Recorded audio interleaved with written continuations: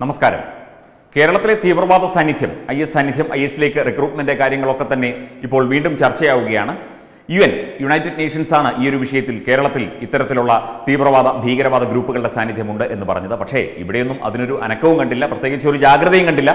കേന്ദ്ര സർക്കാർ ചില നിർദ്ദേശങ്ങളൊക്കെ സംസ്ഥാനങ്ങൾക്ക് നൽകി അതൊക്കെ ഏത് രീതിയിൽ ഇവിടുത്തെ സർക്കാർ എടുത്തു എന്നൊന്നും നമുക്കറിയില്ല.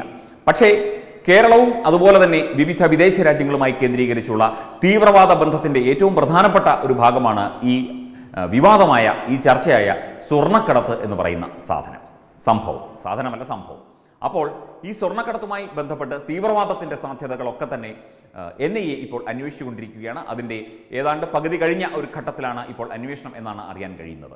വേറൊന്നുമല്ല തീവ്രവാദത്തിനായി ഇപ്പോൾ നോട്ട് നിരോധനം വന്നതിന് ശേഷം തീവ്രവാദത്തിനായി പണം കണ്ടെത്തുന്നതിന് ഒരു പുതിയ മാർഗമാണ് ഈ സ്വർണക്കടത്ത് എന്ന ഒരു വിലയിരുത്തലിലാണ് അതിന്റെ സൂചനകൾ ലഭിച്ചതിന് ശേഷം അങ്ങനെ ഒരു വിലയിരുത്തലിലാണ് ഇപ്പോൾ ദേശീയ ഏജൻസികൾ കസ്റ്റംസും എൻ ഐ എയും അതുപോലെ തന്നെ ഡി ആർ ഐയും ഒക്കെ എത്തിയിരിക്കുന്നത് ഇ ഡി എൻഫോഴ്സ്മെന്റ് ഡയറക്ടറേറ്റും ഒക്കെ എത്തിയിരിക്കുന്നത് എന്നുള്ള ഒരു റിപ്പോർട്ട് കൂടി നമ്മൾ ഈ കഴിഞ്ഞ ദിവസം സംപ്രേഷണം ചെയ്തിരുന്നു. ഈ വിദേശത്ത് ഒരുപാട് യോഗങ്ങൾ മുഖ്യമന്ത്രിയും അതുപോലെ മന്ത്രിമാരും ഒക്കെ പങ്കെടുക്കുന്ന യോഗങ്ങൾ നമ്മളൊരു സ്റ്റോർ ചെയ്തിരുന്നു. വിദേശത്ത് ഇഫ്താർ പാർട്ടികൾ സംഘടിപ്പിക്കുന്നതുമായി ബന്ധപ്പെട്ട്. ഇഫ്താർ പാർട്ടികളൊക്കെ സംഘടിപ്പിക്കുന്നത് ഓരോ ഡീലുകളാണ്. ഓരോ ഡീലുകൾക്ക് വേണ്ടിയാണ് ഇഫ്താർ പാർട്ടികൾ. ഇഫ്താർ പാർട്ടികൾ സംഘടിപ്പിക്കുമ്പോൾ യു എ സർക്കാരിന്റെ പിന്തുണയും മറ്റ് കാര്യങ്ങളും ഉണ്ടാകും. അവർ അത് വിശദമായി അന്വേഷിക്കില്ല. അപ്പോൾ ഇഫ്താർ പാർട്ടിയിൽ ഈ എല്ലാ ഇഫ്താർ പാർട്ടികളിലും ഒരു തൊണ്ണൂറ്റി അഞ്ച് ശതമാനം ഇഫ്താർ പാർട്ടികളും ആസൂത്രണം ചെയ്തതും നടപ്പിലാക്കിയതും ഈ സ്വർണക്കടത്ത് കേസിലെ പ്രധാന പ്രതികളിൽ ഒരാളായ സ്വപ്ന സുരേഷാണ് എന്നുള്ളതാണ്. അന്ന് ചെയ്ത വാർത്തയുടെ സാരാംശം. അതുതന്നെയാണ് നടന്നത്. അവർ കറുത്ത ബുർഖയൊക്കെയിട്ട് വിവിധ വേദികളിൽ നിൽക്കുന്ന പടമൊക്കെ നമ്മൾ വിദേശത്തെ ചാനലുകളിലും അതുപോലെ തന്നെ വിദേശത്തെ മാധ്യമങ്ങളിലുമൊക്കെ നമ്മൾ കണ്ടത്. ഇപ്പോൾ വീണ്ടും വീണ്ടും മലയാള മാധ്യമങ്ങളൊക്കെ തന്നെ ആ സമയത്ത് സംപ്രേഷണം ചെയ്യുകയും ഒക്കെ ചെയ്തിരുന്നു. അപ്പോൾ അതിനൊക്കെ ചുക്കാൻ പിടിച്ചത് ഈ സ്ത്രീയാണ്. എന്തൊക്കെയായാലും ഈ വിദേശത്ത് മുഖ്യമന്ത്രി ഉൾപ്പെടെ വിവിധ യോഗങ്ങളിൽ പങ്കെടുത്തിട്ടുണ്ട്. ശരിയല്ലേ? ഒരുപാട് യോഗങ്ങളിൽ. ഈ യോഗങ്ങളിൽ പ്രധാനികളായി തീവ്രവാദ സംഘടനകളുമായി ബന്ധമുള്ള പലരും എത്തിയിട്ടുണ്ട് എന്നുള്ള ഞെട്ടിപ്പിക്കുന്ന ഒരു റിപ്പോർട്ടാണ് ഇപ്പോൾ പുറത്തു വരുന്നത് നമുക്ക് ആ റിപ്പോർട്ടൊന്ന് നോക്കാം. മുഖ്യമന്ത്രി പിണറായി വിജയന്റെ ദുബായ് യാത്രകളിൽ നടത്തിയ വിവിധ ബിസിനസ് യോഗങ്ങളിലും സംസ്ഥാനത്തെ ബിസിനസ് നിക്ഷേപക പ്രോത്സാഹന പരിപാടികളിലും പങ്കെടുത്തവരിൽ ചിലരെക്കുറിച്ച് അന്വേഷണം നടത്തുന്നു എന്നുള്ളതാണ് ഏറ്റവും പുതിയ റിപ്പോർട്ട്. ദുരൂഹ പശ്ചാത്തലമുള്ള അതായത് തീവ്രവാദ പശ്ചാത്തലമുള്ള ചിലർ ഇവയിൽ ഈ യോഗങ്ങളിലൊക്കെ പങ്കെടുത്തിട്ടുണ്ട് എന്നാണ് സ്വർണക്കടത്ത് അന്വേഷിക്കുന്ന വിവിധ ഏജൻസികൾ എൻ ഐ എ കസ്റ്റംസ് അതുപോലെ ഇ ഡി ഇവരുടെയൊക്കെ ഒരു പ്രാഥമിക വിലയിരുത്തൽ. തീവ്രവാദ ബന്ധമുള്ളവർ മുഖ്യമന്ത്രി പങ്കെടുത്ത യോഗത്തിൽ പ്രധാനികളായി പങ്കെടുത്തു. എത്ര എത്ര കൃത്യവിലോപമാണ് എത്ര ശ്രദ്ധയില്ലായ്മയാണ് എത്ര ജാഗ്രത കുറവാണ് ഉണ്ടായത് എന്ന് നോക്കൂ. ഇത്തരം യോഗങ്ങളിൽ പങ്കെടുത്ത സംശയകരമായ പല ഇടപാടുകളും നടത്തുന്നവരെക്കുറിച്ച് എൻ ഐ എയും ഇ ഡിയും വിവരങ്ങൾ ശേഖരിച്ചു തുടങ്ങി. സംശയിക്കുന്ന ചില വ്യക്തികൾക്കും സ്ഥാപനങ്ങൾക്കും തീവ്രവാദ സംഘടനകളുമായുള്ള ബന്ധത്തെക്കുറിച്ചും ഈ ഏജൻസികൾക്ക് വിവരം ലഭിച്ചിട്ടുണ്ട്. തീവ്രവാദ സംഘടനകളിൽ അവരുടെ ഏജന്റുമാരായും അവരുടെ വക്താക്കളായും പ്രവർത്തിക്കുന്ന പലരും സംസ്ഥാനത്തിന്റെ മുഖ്യമന്ത്രി പങ്കെടുത്ത യോഗത്തിൽ പ്രധാനികളായി പുഞ്ചിരിയോടെ തൊടുകൈകളോടെ പങ്കെടുത്തു. എന്തിനായിരുന്നു? ഈ മുഖ്യമന്ത്രി പങ്കെടുക്കുന്ന യോഗത്തിൽ ആരൊക്കെയാണ് വരുന്നത് എന്നതിനെക്കുറിച്ച് ഇവിടുത്തെ മുഖ്യമന്ത്രിക്കും ഇവിടുത്തെ ഉദ്യോഗസ്ഥർക്കും ഒന്നും ഒരു ധാരണയുമില്ലേ? ഇതങ്ങ് ചുമ്മാ പോവുകയാണോ? നമ്മളൊക്കെ പോകുന്നത് പോലെ സാധാരണക്കാരനായി പോവുകയാണോ? ഒരു സംസ്ഥാനത്തിന്റെ മുഖ്യമന്ത്രിയാണ്. അദ്ദേഹത്തിന് അദ്ദേഹത്തെ അദ്ദേഹവുമായി സംസാരിക്കുന്നതിനും അദ്ദേഹത്തോട് ബന്ധം സ്ഥാപിക്കുന്നതിനും അദ്ദേഹം പങ്കെടുക്കുന്ന യോഗങ്ങളിൽ പങ്കെടുക്കുന്നതിനുമൊക്കെ ഒരുപാട് പ്രോട്ടോക്കോളുകളുണ്ട് അതൊന്നും പാലിക്കാതെയാണോ ഈ യോഗങ്ങളൊക്കെ നടത്തിയത്? അല്ലെങ്കിൽ ഈ യോഗങ്ങളൊക്കെ സ്വപ്ന സുരേഷ് ആസൂത്രണം ചെയ്തത് എന്നുള്ളത് ശരിക്കും വല്ലാത്ത ഒരു സംശയദൃഷ്ടിയോടെ മുഖ്യമന്ത്രിയുടെ ഓഫീസിനെ കാണുന്നതിന് കാരണമാകുന്നു എന്നാണ് വിലയിരുത്തൽ.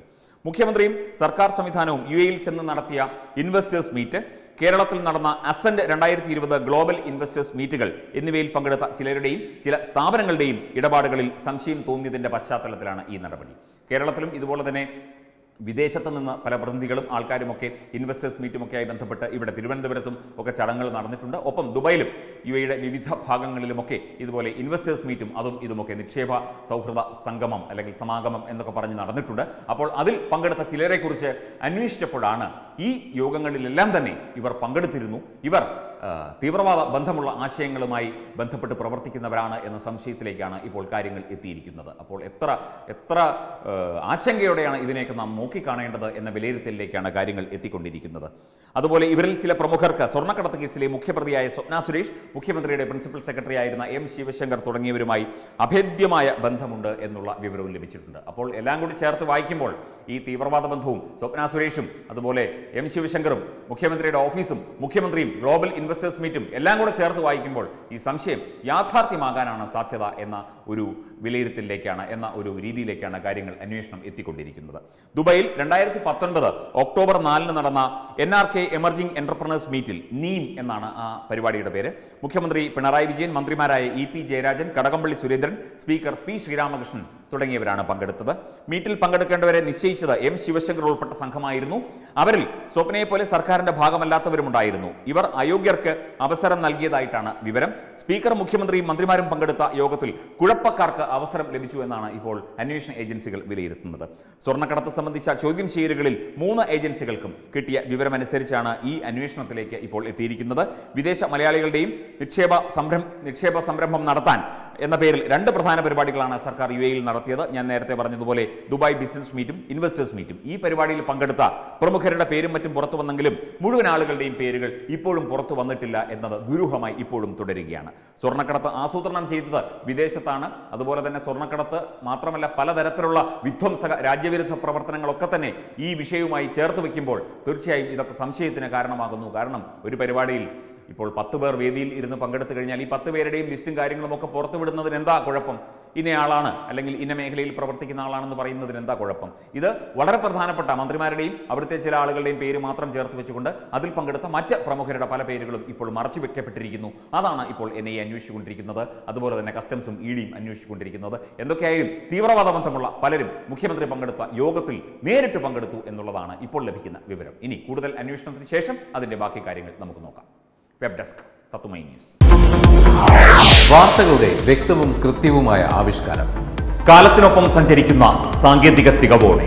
ദേശീയതയിലും രാജ്യസ്നേഹത്തിലും ഊന്നിയ സത്യസന്ധമായ വാർത്താ സംസ്കാരം. മാധ്യമ നൈതികതയുടെ കലർപ്പില്ലാത്ത ആശയ സംവേദനം. സമരസപ്പെടലുകളില്ല സത്യം മറച്ചു പിടിക്കുകയില്ല. വാക്കുകളോ വാക്യങ്ങളോ മുറിക്കുന്നില്ല മാറ്റി വെക്കുന്നുമില്ല. ശീതീകരിച്ച ന്യൂസ് റൂമുകൾ നിങ്ങളുടെ സ്മാർട്ട് ഫോണുകളിലേക്കും കമ്പ്യൂട്ടർ ശൃംഖലകളിലേക്കും